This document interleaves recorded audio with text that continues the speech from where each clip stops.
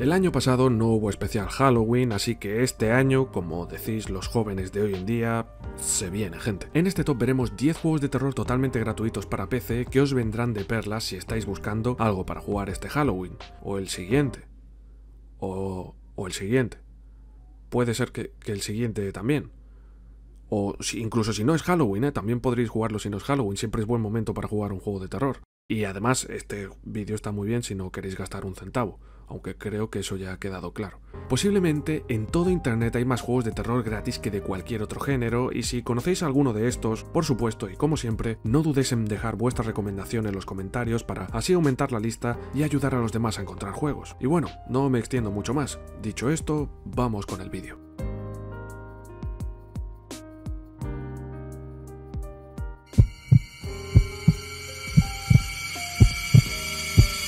Aquí tenemos la primera entrega de un juego episódico de terror cuya promesa es mostrarnos una serie de historias cortas desde el punto de vista de las personas que sobrevivieron a ellas. El primer episodio, ya disponible de forma gratuita, narra la historia de Miles, un joven de 14 años cuyos padres no se encuentran en la ciudad por un viaje de trabajo, dejándolo solo en casa. En principio todo normal, una tarde tranquila de estudio, una lasaña en la nevera para cenar y una película antes de dormir. Por la noche nos levantamos a beber algo de agua y nos encontramos con un mensaje de nuestra madre. Los vecinos la han alertado de que un extraño está frente a su puerta. Es aquí donde tendremos que tomar las decisiones más coherentes para salir de esta. Como dato curioso, en el momento en el que estoy realizando este vídeo ya hay un segundo episodio disponible con una nueva historia, aunque es de pago, y un tercero en desarrollo.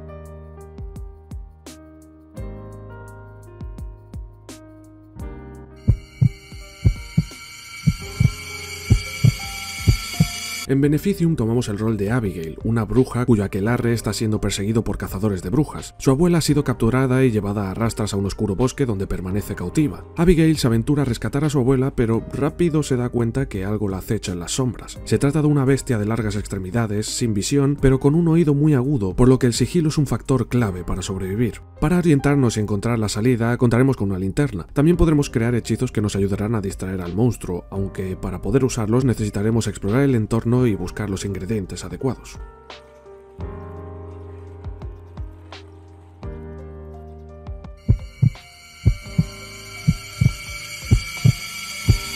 Mu es una breve experiencia de terror en primera persona donde una joven llamada Alicia se despierta en un edificio envejecido y destartalado. A medida que avanzamos en él, podremos descubrir que todos los horrores que se nos presentan son una representación del miedo a envejecer. Así conoceremos a la protagonista atravesando las diferentes fases de su vida. El juego es una maravilla visual, los entornos están bien diseñados y presenta una buena cantidad de detalles que aportan a la narrativa sin necesidad de diálogos.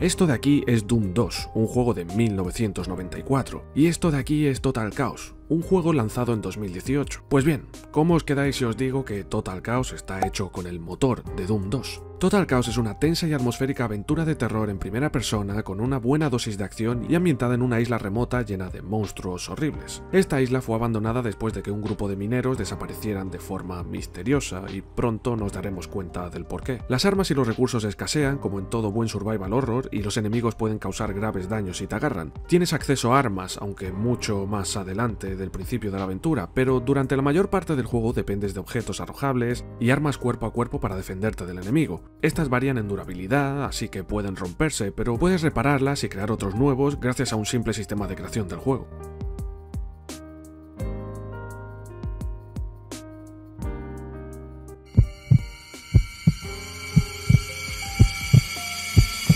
En Abyss of Neptune tendremos la oportunidad de explorar las profundidades del Triángulo de las Bermudas y descubrir una extraña base submarina llena de monstruos acuáticos. Esta experiencia de survival horror en primera persona combina bastante bien los elementos del género. En el juego tendremos la oportunidad de defendernos usando un arpón que no es nada fácil de manejar, puesto que estamos en el agua y los movimientos no son muy exactos. A veces será mejor huir antes que combatir. También tendremos una historia que descubrir que será contada a través de documentos que iremos encontrando por la base submarina. Además, el juego fue traducido recientemente al español, cosa que se agradece.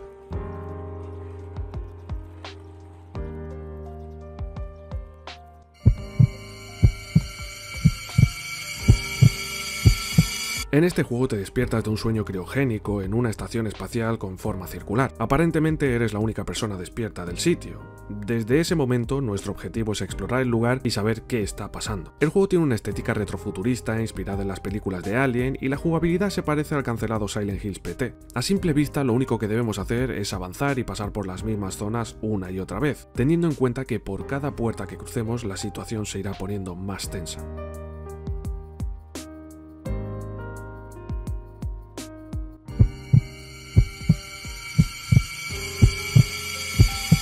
El 26 de abril de 1986 tuvo lugar el accidente nuclear de Chernóbil, un evento catastrófico en el cual se calcula que hubo alrededor de 600.000 personas involucradas para mitigar las consecuencias de este desastre. A estos se les denominó liquidadores. El juego que vamos a ver ahora está dedicado a tres de ellos en concreto, Alexei Ananenko, Valery Bezpalov y Boris Baranov. Estos emprendieron una misión suicida de forma voluntaria en la que debían drenar el agua estancada debajo de los reactores y exponerse a niveles de radiación incompatibles con la vida humana. Liquidators nos pone en la piel de estos tres liquidadores, cada uno con diferentes funciones y misiones por completar, equipados con contadores Geiger y linternas, explorando las claustrofóbicas entrañas de Chernóbil. También tendremos que tomar decisiones que afectarán al final de esta aventura.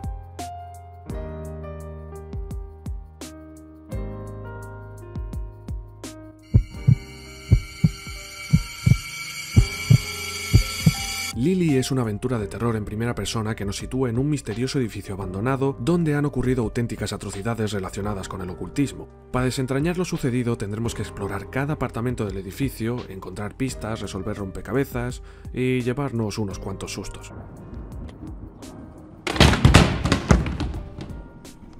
El juego cuenta con alrededor de 30 minutos de gameplay donde encontraremos una atmósfera tensa y opresiva y una historia por descubrir con cinemáticas y puzzles muy ingeniosos.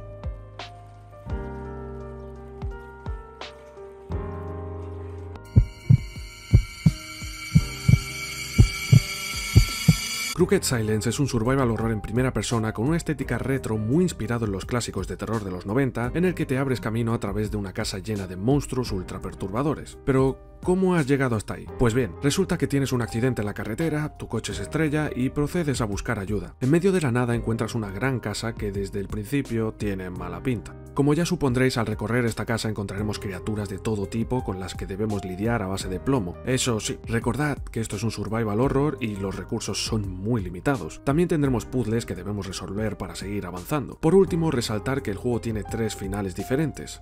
Este cuenta con un pequeño DLC de pago muy muy muy barato que cuenta con tres nuevas historias. Estas están protagonizadas por diferentes personajes con diferentes tipos de jugabilidad y si os gusta el juego principal pues es recomendable que les echéis un vistazo.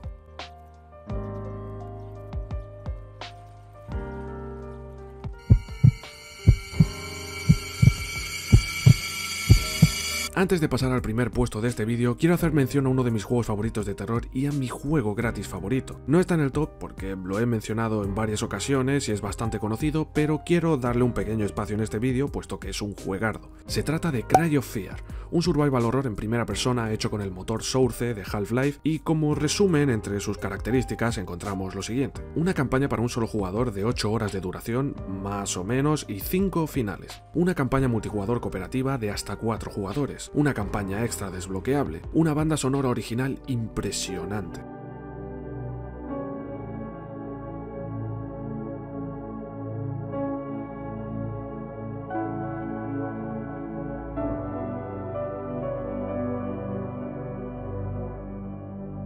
Una atmósfera muy lograda, criaturas de pesadilla y sustos, muchísimos sustos. No, no, no, no, es ahora, es ahora porque nunca llegamos, es ahora porque nunca llegamos. Me voy a asustar, me voy a asustar, me voy a... ¡Ah! ¡A la verga! ¡Ah! ¡La madre que me parió! No, no, no, no. ¡A la ver! ¡No! ¡No!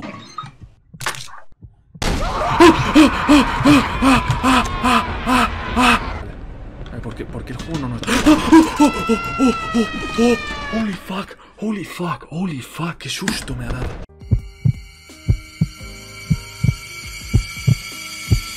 En este puesto de la lista tenemos una saga de videojuegos gratuitos que consta de cuatro entregas. Northbury Group es una serie de videojuegos inspirados en las películas de terror slasher de los años 80, en las que tendremos que sobrevivir al terrible carnicero de Northbury. Esta saga consta de cuatro juegos, aquí los citaré en orden. Northbury Groove. Aquí seguimos la tensa aventura de unos jóvenes que van a un festival de música rock. Es entonces que acampan en una zona remota del bosque. Cerca se encuentra un viejo patio donde creen que puede encontrarse una amiga con la que se debían encontrar y que aparentemente está desaparecida. Es en ese momento en el que tendremos que investigar la zona para darnos cuenta de que nos encontramos en la guarida del lobo y tendremos que escapar de ella. Northbury Groove, King's Comfort. A unos pocos kilómetros de donde los protagonistas del anterior juego montaron su campamento se encuentra King's Comfort, un pequeño y pintoresco motel que cuenta con piscina cubierta, una sauna, un bar y 12 habitaciones, que no serán las más lujosas del mundo, pero te ofrecen una tranquilidad y un silencio que pocos sitios pueden. Después de unos días locos de fiesta, nuestro protagonista se levanta en este motel con dolor de cabeza y sin saber dónde han acabado sus amigos. Sin perder el tiempo se dispone a buscarlos y más tarde puede ser que se arrepienta de esta decisión. Northbury Group Walls Closing In. ¿Recordáis a la amiga desaparecida del primer juego? Pues será la protagonista del final de la trilogía de Northbury Group. Aquí viviremos la horrible aventura de Grace en el juego más grande de los ya citados. Esta es secuestrada por el carnicero de Northbury y será nuestra tarea ayudarla a escapar. Northbury Group Entity. Un año después de la masacre de Northbury Group, el streamer Joey High, cansado de hacer directos de Among Us, decide dedicarse al IRL y explorar la ubicación de aquel fatídico evento mientras toneladas de personas te ven en directo. Y bueno, aquí finaliza el vídeo pero no los juegos gratis, ya que te dejo por aquí una lista de reproducción con todos los juegos gratis que hemos visto en el canal hasta ahora y por aquí un vídeo que te recomienda el algoritmo de YouTube. No olvides seguirme en mis redes sociales donde subo contenidos relacionados con videojuegos y suscríbete al canal para ver más vídeos como este. Dicho esto, muchas gracias por haber visto el vídeo hasta el final y nos vemos en el próximo. Chao.